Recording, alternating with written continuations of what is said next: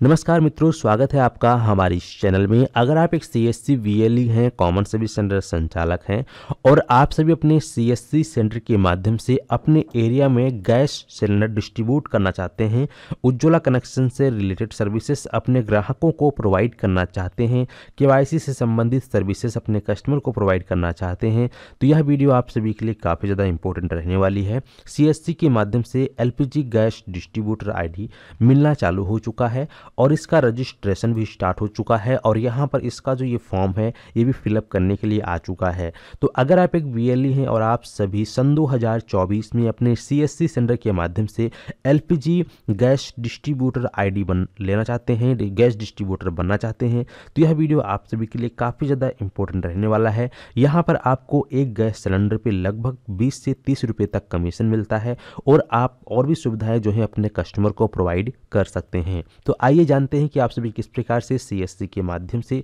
Gas distributor ID ले पाएँगे और किस प्रकार से आप सभी को ये फॉर्म फिलअप करना है, किस प्रकार से आपका एग्रीमेंट होगा और किस प्रकार से आपको रजिस्ट्रेशन करना है। तो दोस्तों, वीडियो को शुरू करने से पहले आपसे एक छोटी सी रिक्वेस्ट है। अगर आप चैनल पे पहली बार आए हैं तो सब्सक्राइब कर लीजिएगा, साथ ही साथ नोटिफिकेशन बेल आइकन को ऑल पे क्लिक करके ऑन कर दीजिए, ताकि इसी प्रकार की लेटेस्ट इन्फॉर्मेशन आप लोग सबसे पहले देख पाएँ। तो चलिए शुरू करते हैं। एलपीजी गैस डिस्ट्रीब्यूटर आईडी लेने के लिए आप सभी को सबसे पहले अपनी सीएससी डिजिटल सेवा पोर्टल में आईडी से लॉगिन हो जाना है। लॉगिन हो जाने के बाद आपको यहाँ पे सर्च आइकन पे क्लिक करना है, एलपीजी। इतना सर्च पे क्लिक करोगे, यहाँ पर आपको चौथे नंबर पे ऑप्शन दिखाई देगा, registration for LPG distributor point in gas. आपको इस वाले ऑप्शन पे क्लिक कर देना है। जैसे ही आप इस ऑप्शन पे क्लिक करते हैं, आप सभी के सामने इस प्रकार से एलपीजी सर्विस थ्रू सीएससी आ जाएगा।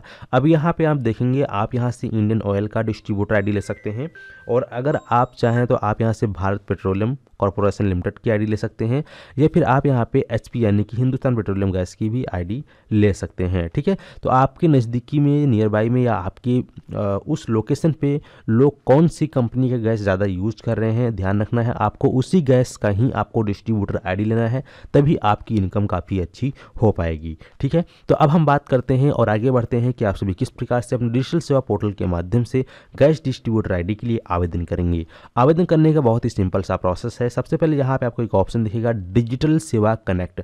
आपको इस पर क्लिक कर देना है। तो जैसे ही आप इस पर क्लिक करेंगे इस प्रकार से तो आप सभी के सामने एक नेक्स्ट पेज आएगा जहाँ पर आपकी कंप्लीट डिटेल आपको देखने को मिलेगा। तो आप इस प्रकार से स्क्रॉल करते हुए नीचे आएँगे और यहाँ पर आप प्रोसीड बटन पर क्लिक कर देंगे। जैसे ही आप यहाँ पे प्रोसीड बटन पे क्लिक करेंगे, इतना क्लिक करते ही आप सभी के सामने यहाँ पे पाँच ऑप्शन आ जाएगा। पहला ऑप्शन है LPG refill request LPG gas distributor और यहाँ पे H new connection application detail और यहाँ पे एलपीजी डिस्ट्रीब्यूटर एग्जिट यानी कि अगर आप डिस्ट्रीब्यूटर आईडी ले चुके हैं और एग्जिट करना चाहते हैं तो आप यहाँ से एग्जिट भी कर सकते हैं।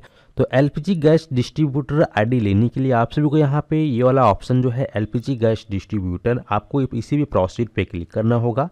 जैसे ही आप यहाँ पे प्रोसीड पे क्लिक करेंगे तो आप सभी के सामने रजिस्ट्रेशन फॉर्म ओपन हो जाएगा और वहीं पर नीचे आप सभी को एक सैंपल फॉर्म देखने को मिलेगा जिसको कि हमने यहाँ पर डाउनलोड कर लिया है और ये इसकी मदद से आपको बताते हैं। जैसे कि आप यहाँ पर देख पाएँगे, यहाँ पे बताया गया है distributor and CSC village level entrepreneur V तो यहाँ पे आपको जो है कंप्लीट डिटेल्स फिलअप करना होगा।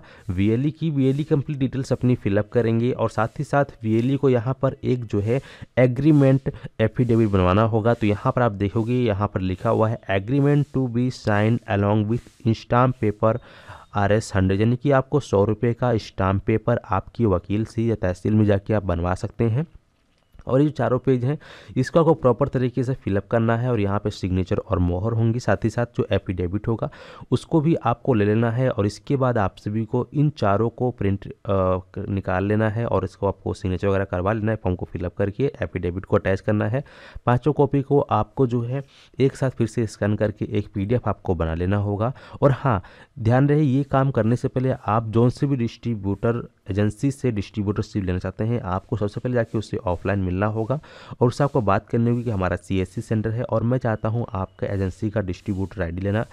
तो अगर वो आपको हाँ कह देता है तो फिर आप जो है एग्रीमेंट साइन करके और फिर जो है, जो मैंने डॉक्यूमेंट्स बताए हैं, इसको आपको वहाँ पे जो फॉर्म खुलेगा, वहाँ पे आपको अपलोड करना होगा और आपको एक हज़ार रुपये की पेमेंट फ़ीस करानी पड़ेगी।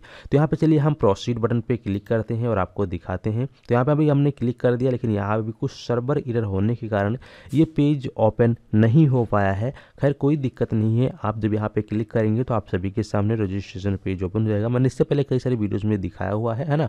नॉर्मल सा फॉर्म है, आपको फिल करना होता है, आपको अपना ओ एम सी सेलेक्ट करना है और डिस्ट्रीब्यूटर का नाम सेलेक्ट करना है।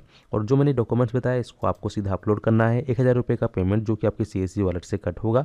और उसके बाद फिर एक स्लिप निकलेगी। बस आपको करना कुछ नहीं है। उसको ले जाकर आपको जो है अपने जो नज़दीकी डिस्ट्रीब्यूटर हैं, उनको दिखाना है। और इसके बाद फिर आपका हो जाएगा अप्रूवल और फिर आपको जो है आपके CSC सेंटर पे जो गैस वगैरह होते हैं, वो प्रोवाइड कर देंगे। जिसके बाद आप सभी अपने नज़दीकी एरिया में जितने भी गैस कस्टमर हैं ठीक है? उन सभी को आप गैस सिलेंडर सेल कर सकते हैं और प्रति गैस सिलेंडर पे आपको 20 से 30 रुपए तक की कमीशन मिलेगा, ठीक है? यानी कि दस रुपये आप कस्टमर से लेंगे, बाकी बीस रुपये कम रेट में आपको डिस्ट्रीब्यूटर से मिलेगा। तो टोटल लगभग आपको एक सिलेंडर पे तीस रुपये तक कमीशन आसानी से मिल जाता है, ठीक है? तो इस प्रकार से आप लोग जो है काम कर सकते हैं, अगर आप करना चाहें। उम्मीद करते हैं कि आप लोग अच्छे से समझ गए हैं। चलिए मिलते हैं आपको एक नए वीडियो में नए टॉपिक के साथ। तब तक के लिए धन्यवाद।